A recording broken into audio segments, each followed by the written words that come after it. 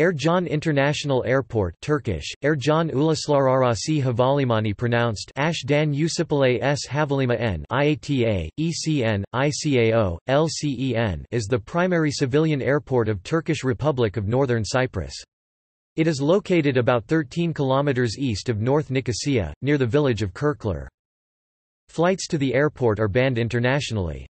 Non-stop flights only take place from Turkey, which is the only country to recognize Northern Cyprus, and all planes that fly to Northern Cyprus from other countries have to stop over in Turkey. Because of these difficulties and inconveniences, the majority of Turkish Cypriots with Republic of Cyprus passports prefer to use Larnaca International Airport, which is located in the internationally recognized, government-controlled part of Cyprus. This option is not available, however, to Turkish settlers.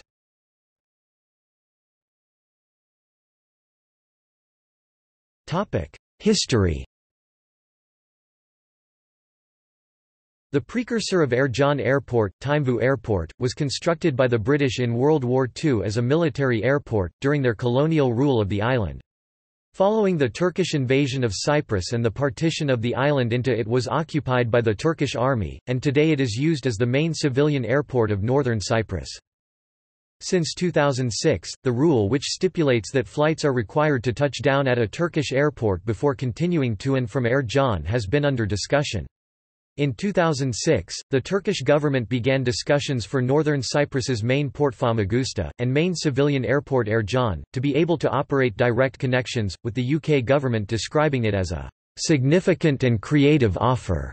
However, as of 2017 the rule still applies, and Ercan Airport has seen a more than 400% decrease in customers, as a result of new tight security measures imposed by the UK Department for Transport questioning the status of the airport and forcing passengers travelling between Britain and northern Cyprus to disembark with their luggage and go through a fresh security check in Turkey in order to board a new aircraft for their final destination. Recent plans have arisen to privatize Ercan Airport, as well as plans to enlarge the airport airport in order to increase capacity.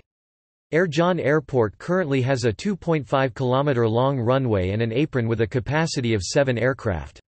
Although the runway is long enough for large planes to land, it is not long enough for take-offs.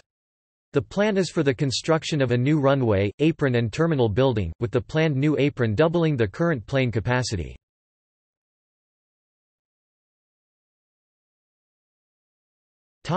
Airlines and destinations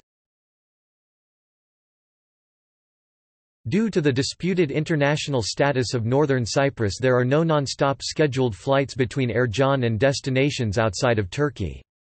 However, several airlines operate direct flights from Ercan to Europe with intermediate stops in Turkey.